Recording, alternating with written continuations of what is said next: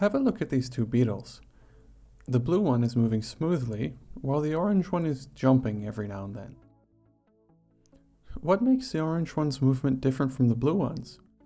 I mean, obviously the orange one is jumping and the blue one isn't, but why does that make it different? What exactly does it mean when we say that the orange one jumps and the blue one doesn't? If we plot their movements on a graph, the blue beetle makes a single unbroken curve, and the orange beetle makes a curve with separate pieces. Let's take a closer look at one of the places where the orange curve breaks. If we call this point in time t, and we focus on a small interval of time around t, notice that the blue beetle moves a fairly small distance over this time period, while the distance covered by the orange one still includes the jump. If we want to keep the blue beetle within a certain distance of its position at time t, we only have to look at points in time close enough to t. In other words, any point in time close enough to t will guarantee that the blue beetle is close to its position at time t. If we want it to be super close, we only have to ensure that the time is close enough to t, even if the time has to be very, very close to t. We can try the same thing with the orange beetle, and if we don't need it to be too close to its position at time t, then any time point close enough to t will work. But, as we make the desired interval smaller, eventually we reach a point where just looking at times close enough to t does not guarantee that the orange beetle is close to its position at time t. We can keep the beetle close enough by looking at times just before t, but any time point after t, no matter how close to t, gets the beetle outside the area that we want it to be in. It's not enough to require the time to just be close enough to t. So, in the case of the orange beetle, closeness in position cannot be obtained purely from closeness in time.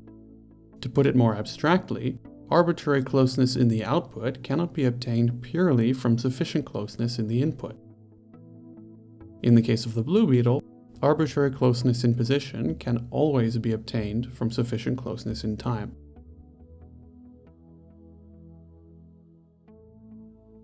This is how continuity is defined rigorously in mathematics.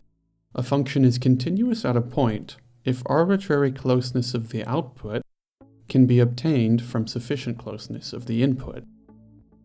That is, a function f is continuous at a point c if the value of f can be made arbitrarily close to its value at c by making the input sufficiently close to c. Exactly how close to c the input needs to be in order to guarantee that f is close to its value at c will depend on a bunch of things like what the function f is, what the value of c is, and how close we want f to be to its value at c. So, to recap, f is continuous at c means that if r is any positive number, we can guarantee that the distance between f of x and f of c is less than r purely by ensuring that the distance between x and c is less than some number, say s. For different values of r, we may end up with different values of s, but what matters is that no matter what value we choose for r, as long as it is positive, there is some s such that whenever the distance from x to c is less than s, we are guaranteed that the distance from f of x to f of c is less than r. Let's look a little deeper into this idea. As it stands, the definition relies on the absolute value of the difference between two numbers, which we use as our definition of the distance between them. The definition would not make sense if we didn't already know what it means to subtract two numbers and to take the absolute value of the result. But are the ideas of subtraction and absolute value really essential to the idea behind the definition? Not really, we only use them because we need them in order to define the distance between two numbers. Don't you think that it would make the point of the definition more obvious if, instead of the absolute value of the difference of x and c, we just said d of xc, and bundled up the definition of the distance between two numbers into d. Now, if we actually need to calculate the distance between x and c, we can expand the definition of d as needed. But don't you think that this way of writing it makes it more clear what the idea is behind the definition? Don't you think that this is more in line with what the definition is actually supposed to capture?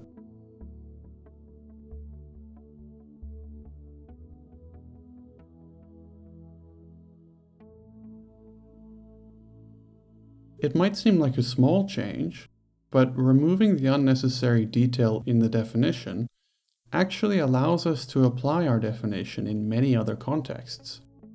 Now that the definition only refers to distance, we can say that whenever we have some way of determining the distance between two things, we can also talk about a function being continuous.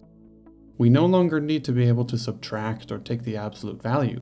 All we need is some notion of distance.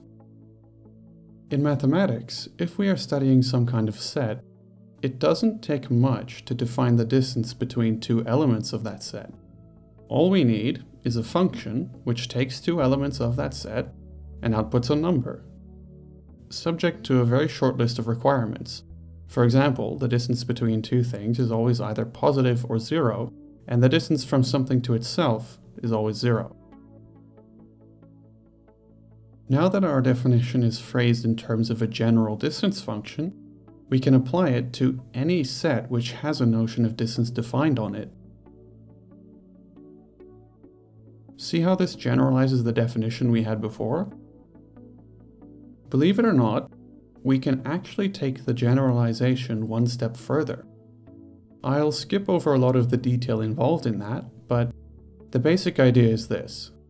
Where we say the distance between x and c is less than s, we can instead say x is in the set of all points whose distance from c is less than s. And where we say the distance between f of x and f of c is less than r, we can instead say f of x is in the set of all points whose distance from f of c is less than r. Then, the notion of the set of all points whose distance from some particular point is less than some number is condensed even further and is replaced by an even more abstract idea, the so-called open set.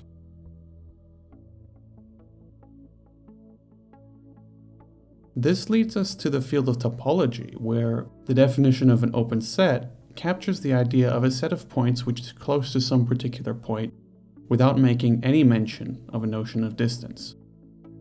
The fact that the act of generalizing the notion of distance and continuity led us all the way to the field of topology just goes to show how useful it can be to strip away the unnecessary detail to reveal the core idea behind some concept. It's one of the things I love about mathematics, and I hope I've managed to convey at least why someone might be interested in this. Thanks for watching.